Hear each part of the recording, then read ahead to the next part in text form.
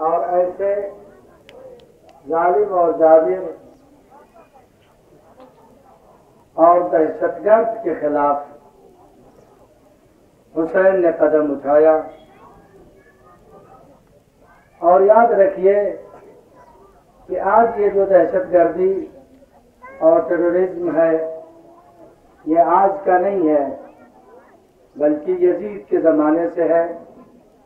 सबसे बड़ा टेररिज्म और दहशतगर्द यजीद था, जो इंसानियत को कत्ल कर देना चाहता था, मानवता को खत्म कर देना चाहता था ह्यूमनिटी के खिलाफ अमल करता था, सच्चाई को मिटा देना चाहता था।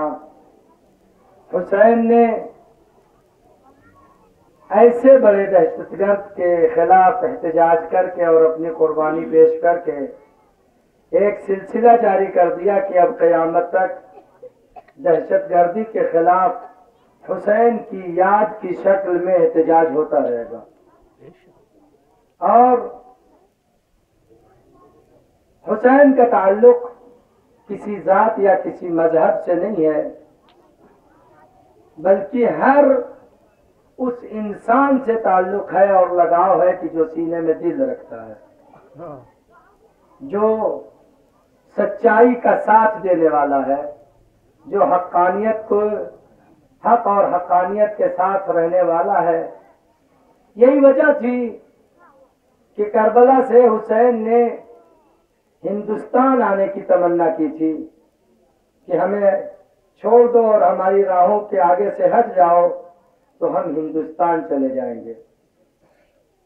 यकीनन, उस जमाने में भी हिंदुस्तान का मिजाज और हिंदुस्तान में बसने वालों का मिजाज। और तबियत और फितरत इस बात का तकाजा करती थी कि वो हक और हकानियत का साथ देने वाले थे। अगर ऐसा ना होता तो हुसैन, हिंदुस्तान आने की तमन्ना को ज़ाहिर न करते।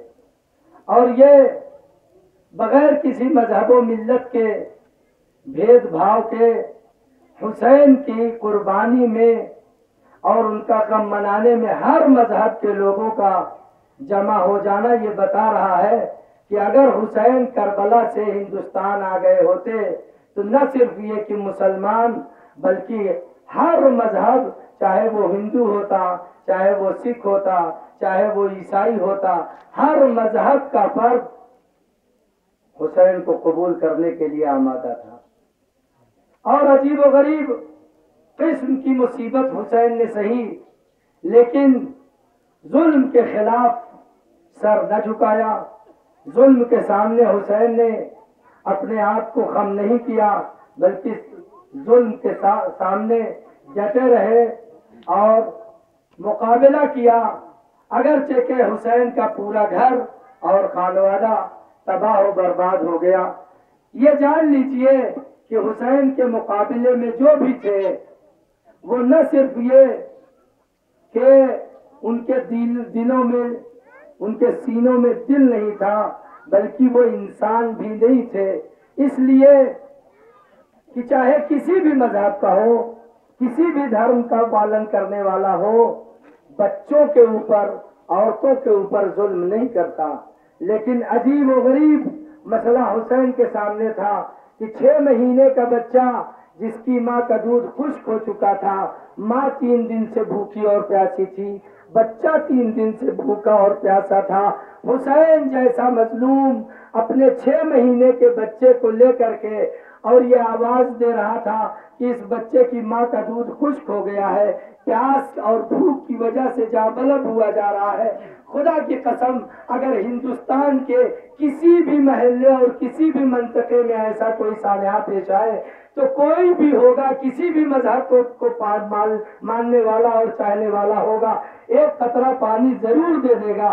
लेकिन वो कैसे इंसान थे कि जिन्होंने हुसैन के उस बच्चे के मुकाबले में न सिर्फ़ ये कि पानी नहीं दिया, बल्कि तीन फाल का तीर, कि जिसको कहा जाता है कि उस तीर में इतनी ताकत थी कि अगर सात लोहे की चादरें रखी जाती तो वो उसको चीरता हुआ पार कर देता था।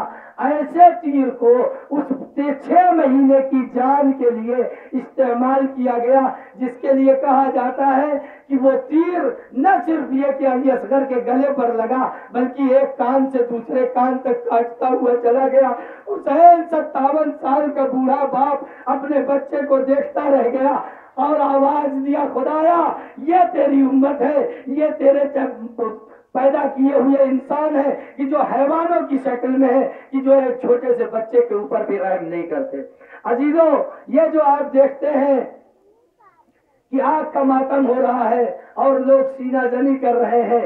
ये आलम के निशान लेके चल रहे हैं। जगह जगह पर पानी पिलाया जा रहा है, खाना खिलाया जा रहा है। ये उसी की याद में ये हुसैन, आप भूखे रह गए।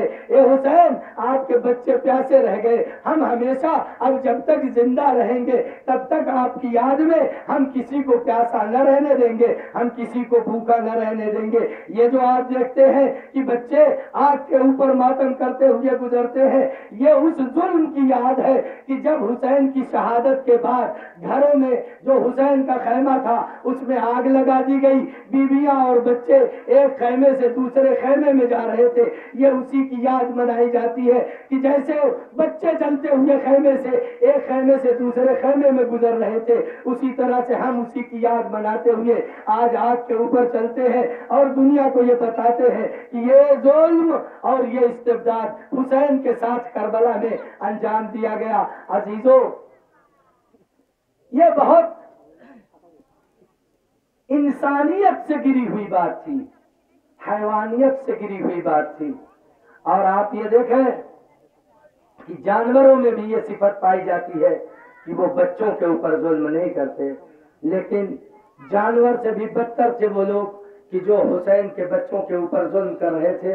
मैं एक आपकी फितरत की तरफ़ इशारा करके और बात को खत्म करूँ। तीन साल की बच्ची है हुसैन की। खैमे जलाए जा रहे हैं। बच्चों की तबीयत ये होती है, फितरत ये होती है कि अगर घर में कोई डांटता है तो बच्चे उसकी तरफ़ भागते हैं, जिसकी तरफ़ उनको मदद मिलने की उम्मीद होती है। मसलन, माँ ने अगर डांटा तो बाप की तरफ़ भाग जाएगी बच्ची। अगर बाप ने डांटा तो माँ की तरफ़, दादा की तरफ़, दादी की तरफ़।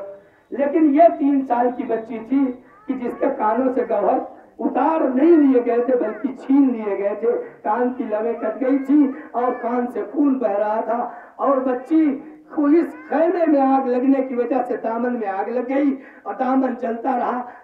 हमीद इब्ने मुस्लिम लिखता है।